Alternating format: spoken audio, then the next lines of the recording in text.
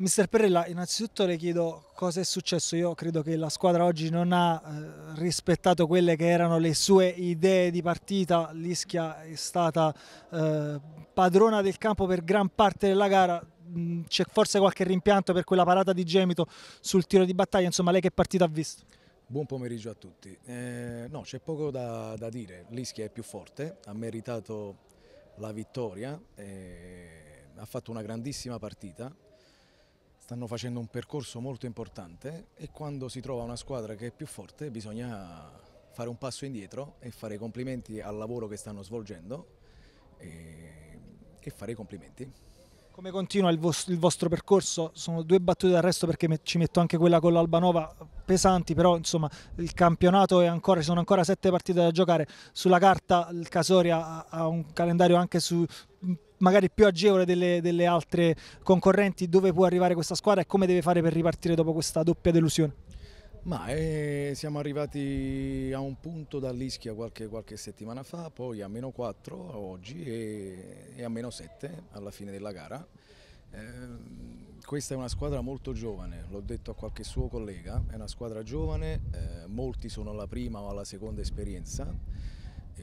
Io sarò ripetitivo ma devo dire eh, quello, eh, le cose come stanno il budget è diverso da, da rispetto alle altre squadre e quindi quando poi affrontiamo squadre del genere, partite del genere, magari gli avversari sono più pronti, sono più preparati perché queste gare le hanno già affrontate in passato. Noi ripeto, siamo una squadra giovane che ci siamo presentati a questa gara al massimo, abbiamo eh, fatto eh, il massimo secondo me, si poteva fare qualcosina in più sempre,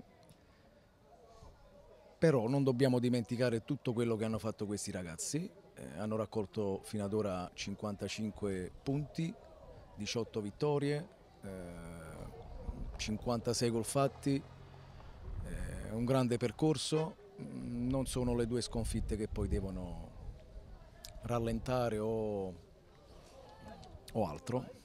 Allora il percorso continua e continua con il Pomigliano. Sicuramente, sono sette partite, sette finali, sette gare importanti, sono tutte difficili e complicate e le dobbiamo affrontare con il massimo della determinazione e cattiveria. Sicuramente dobbiamo metterci in qualcosa in più in questo momento di difficoltà perché io dico sempre che quando si vince le cose vanno, vanno bene, va tutto bene ma bisogna avere anche quella capacità di saper incassare i colpi e quella forza mentale di reagire il più in fretta possibile. Sono sette partite, siamo dentro, dentro i playoff, ce li giochiamo fino alla fine a testa alta cercando di non commettere alcuni errori come li abbiamo commessi oggi. Eh, sul primo gol sicuramente si poteva fare un qualcosa in più sotto l'aspetto della cattiveria e della determinazione, sul secondo e sul terzo li vorrei anche rivedere, sono curioso di rivederli perché secondo me forse qualche posizione era, era, era irregolare, però siamo qui, li riguardiamo con calma, con molta tranquillità, fermo restando che l'Ischia ha meritato di vincere e ha fatto una grande prestazione.